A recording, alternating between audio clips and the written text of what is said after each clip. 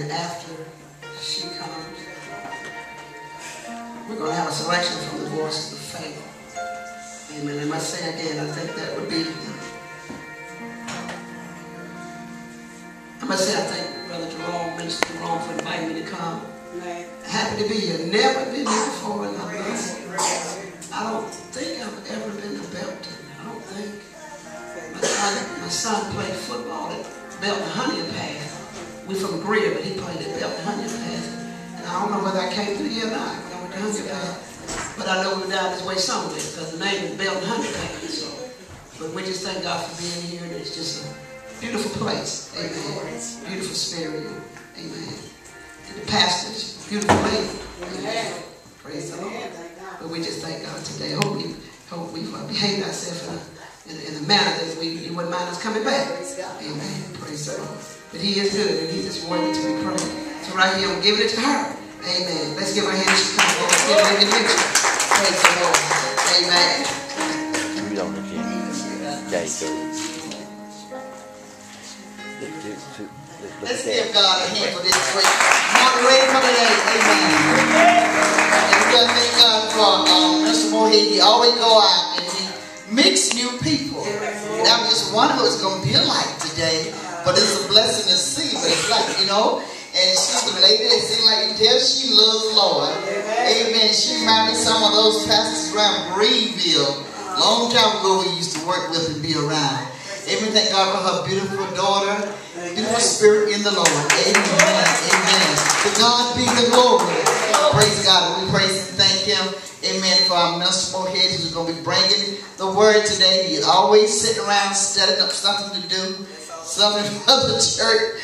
Hey, praise God. We thank God for His spirit. Amen. In Him, because He loved the Lord. We're just a few in, this, in the number. We thank God that somebody want to go to work. Amen. Be about the Father's business. There's work to do if we all would just step up and just step out. Thank God for seeing um, Brother Ren today. Praise God. Now, this man of God, uh, Brother Moorehead, he's a young man that said, both stated he loved the Lord, he loved to work and do. And we thank God for him. Amen. People come and go, but he's still standing. Amen. And we praise God for that. Somebody say, I'm just like a tree. I'm planted by the rivers of water, and I shall not be moved. Glory be to God. You guys know how the storm cloud may rise, the storm wind may blow. Oh, God, let me That is sweetly. Amen. He has some rough um, times coming up through the years and things he tell about sometimes he was in schools and upstairs, but he still stood the test of time. Amen. And we thank God because he will preach and he loved to preach. Amen. She come on Sunday morning, you don't have to, you know, sometimes you have preachers, uh, you ask you bring the word, they, they get to looking funny, acting funny, dry, quit talking, change their attitude and smile. But he said, yes, ma'am, I can say something. I just love that spirit. Amen. He had a hard time coming up. The devil tried to kill him when he was just a little boy. Amen. Devil said he wouldn't be here. He wouldn't live to get to be but just a few years old. But amen, I told him Thanksgiving, I texted him a little note. I was telling him, I, I praise God for him and thank God for him. Yeah. Amen. These 26 years, praise God. He's still going strong. Ain't nobody mad but the devil. Glory be to God. We appreciate him. And before he come, the voice of faith will come and render a selection or so. And the next voice will be none other than Mr. Jerome Moorehead. Amen. Praise the Lord.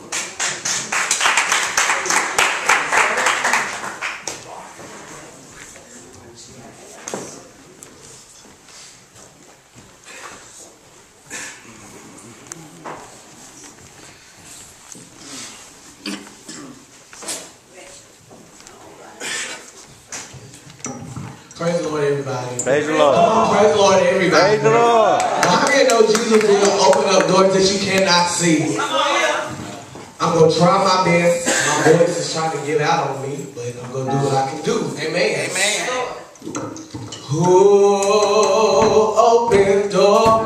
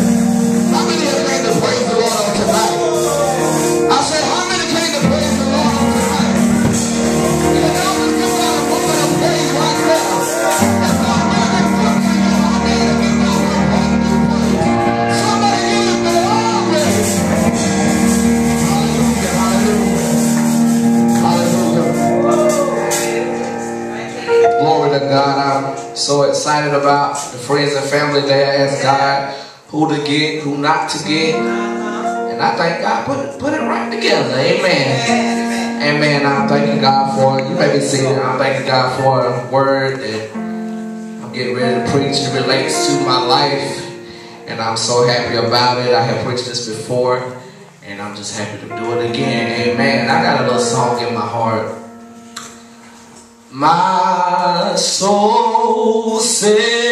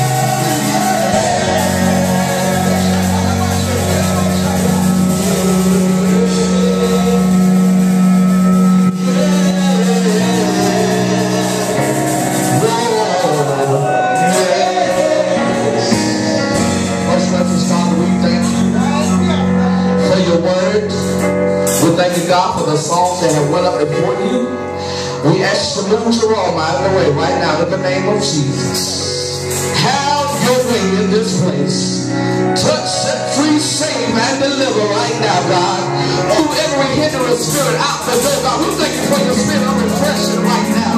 We thank you, God, for your anointing, God. Move like the power. Somebody came in here now, God.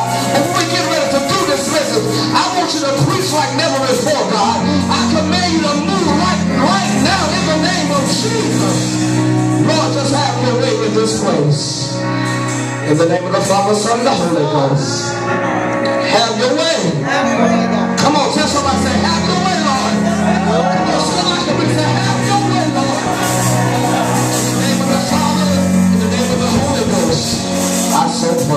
Amen. Amen. You may be seated in the presence of the Lord. Amen. When you turn, if you have your Bibles, please turn with me to John the 11th chapter. When you got it, say amen. Amen. And we're going to start at the 38th verse. Everybody got it? Amen. Then Jesus, again groaning in himself, came to the tomb. It was a cave, and a stone lay against it. Jesus said, Take away the stone. Martha, the sister of him who was dead, said to him, Lord, by this time this is a stench, for he has been dead four days. Somebody say four days. Four days. Jesus said to her, Did I not say to you that if you would believe, you would see the glory of God? Then they took away the stone from the place where the dead man was. lying. And Jesus lifted up his eyes and said, Father, I thank you that you have heard me.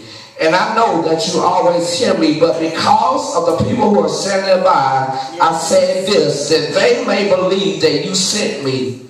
Now when he had said these things, he cried with a loud voice, Lazarus, come forth. And he who had died came out bound hand and foot with great clothes, and his face was wrapped with a cloth. Jesus said unto him, Loose him and let him go. We're going to, you may be seated, we're going to use for a topic or a subject tonight, it's time to get up from the grave. Touch it and say, neighbor, it's time to get up from the grave. Now y'all can say that like you mean it. Touch your neighbor, go to somebody else say, neighbor, it's time to get up from the grave. Come on and put your hands together and give God some praise. When Jesus had heard this man was sick for four days, that's a long time to be dead. And he was groaning in himself. He came to the tomb. There was a cave, and a stone laid against it. Jesus said, Take away the stone. So Jesus removed the stone and went in the stone and began to pray and speak life over this young man. He said, Lazarus, come forth. When God speaks, you must believe. Can I get a witness? So Lazarus got up. How many know he got up with the help of God's hand? Can I get a witness? I come to tell somebody that you're in a dead situation. It look like you can't seem to find your way out. But I come to tell you it's time to let loose. And it's time to let God have his way. Can I get a witness? It seems like so much is going on around Can I get a, can I talk to you? It seems like people are dying on every hand. Just a few days ago in Ferguson, there was a man shot and killed, but and, and everybody was going crazy and doing riots and everything. But God still saw us through. Can I get a witness? They decide they want to break into buildings and do everything that they could in a right. But I came to tell you that there is a God somewhere. All we need is keep and just have faith because God will see us through. Uh, feito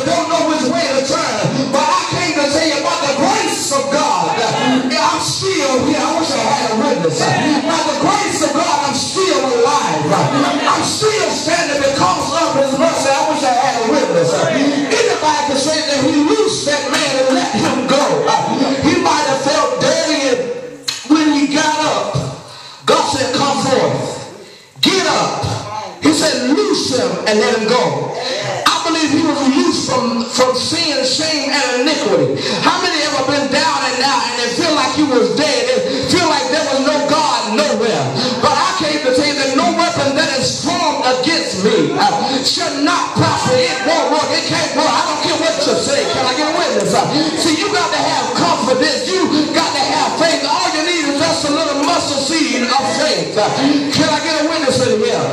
Yes, yes. So they took away the stone where the man was lying dead. Jesus lifted up his eyes. He said, Father, he talking to his daddy. You know, daddy can do anything. I'm talking about the Lord. He said, Father, I thank you that you have heard me. God began to pray. He began to talk to the master. He knew that he was going to come through. How many know that when you speak life, it comes out of the mouth? Can I get a witness? You got to speak life to a dead situation and tell the enemy to let you go. It seems like bills are due. Can I get a witness? It seems like everything is tied up and tangled up. But I came to tell you it's time to come out of the grave. But I came to tell you just to hold a little while. Because the devil is not yours. I came to tell you that it is life in the power of the tongue. You got to speak life. Is there anybody here that can speak life? They say, I know that a change is coming my way.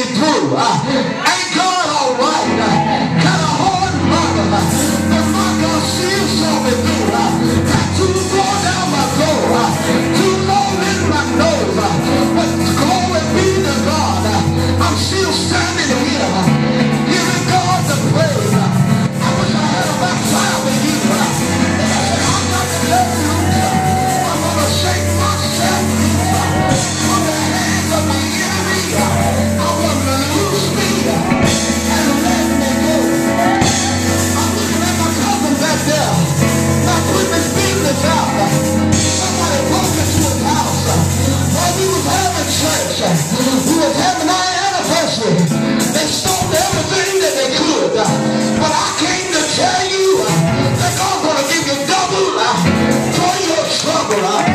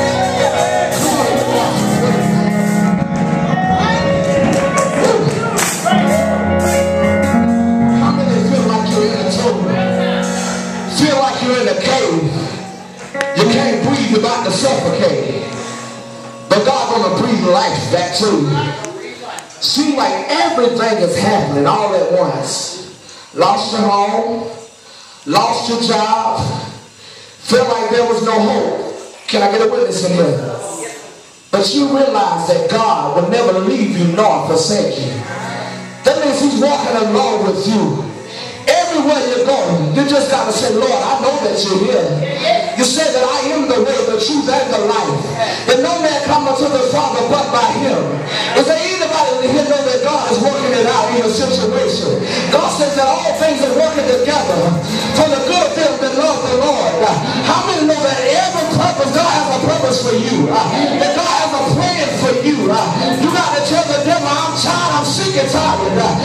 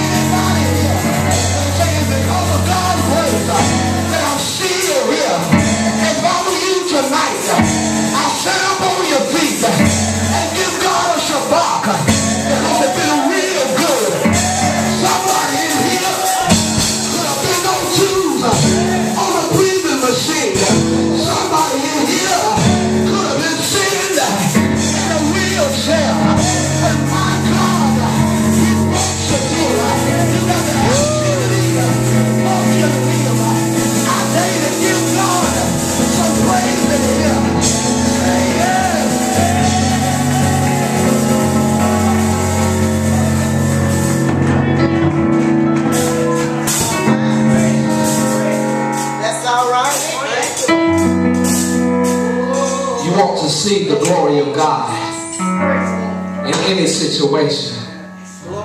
Whatever you desire, whatever you're praying for, God will bring you through it, all right? Storm clouds may rise, strong winds may blow. It seems like every weight is on your shoulder. But just stand strong and know that you're coming out. It's time to get up from the grave. How many of you had a hard time in their life? I know everybody has. Somebody here going through something and it just looked like there was no way. It looked like there was no faith. But I come to tell you that the joy of the Lord is your strength. So you can do all things through Christ that of you. Come on, tell somebody, say, I can do it. I can do it. With God on my side. If God wasn't on my side, I couldn't do it. Can I get a witness? Sometimes it looks like your life making it weary. It seems like that you're at the edge. But God said, if you keep praying, if you keep fasting, if you keep holding on, don't let go because he won't give up on you. Can I get a witness? Sometimes in our life we cry, we weep and moan. But the Bible says that weeping may endure for a night. But joy to come in the morning light. Can I get a witness? How many are seeking God for some joy? How many are seeking God for some peace? It seems like the weight of the world is on your shoulder and you can't make it. But I come to tell you that God is not through with you yet. He said, if you keep on praying, if you keep on fasting, he got a great reward for you. The Bible says if you press towards the mark of the higher calling, what is in Christ Jesus, God's gonna, God is gonna do it if you just believe. God's got a great reward for you. Somebody has been picked on, you've been lied on, you've been down and out. But I came to encourage you just to get up from wherever you are and tell the devil I'm going to make it. Speak to your situation. Am I right about it? Sometimes life gets so dreary and it seems so dark and feel like you're alone that nobody cares. You just want to cry sometimes. But God is wiping every tear and He answering every blessing. Will you please stand? I just came to encourage somebody just to know that whatever you're going through tonight, if you just step out, we're going to extend an altar call. And you're having a Lazarus experience, You're having a death experience, feel like you lost your hope, feel like you lost your peace, but it's time to come out right now.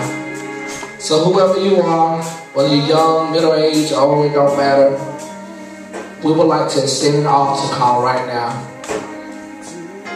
If you're dealing with a certain situation, we just want to declare peace over you because the peace of God that passes all understanding.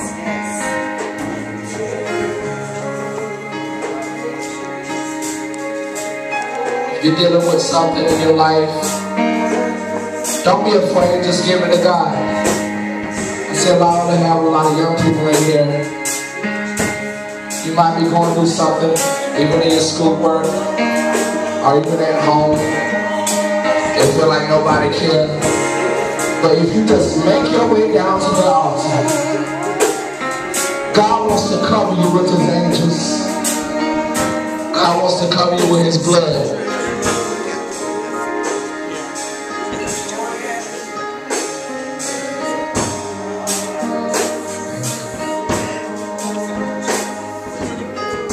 Battle is not yours, it's the Lord's. The race isn't given to the swift nor is given to the strong, but it's given to the one that endures to the end.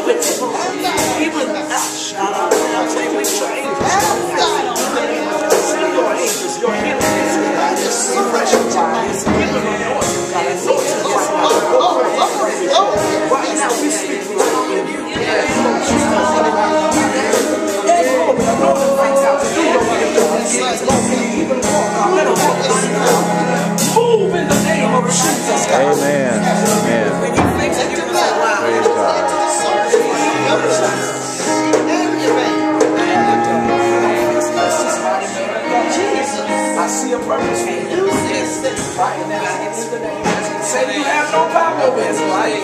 We block you, we bind you in the name of Jesus. Lord, don't let them stress any longer. Just turn around. He said all things work together for the good of those We declare it done. Jesus, Jesus, Jesus,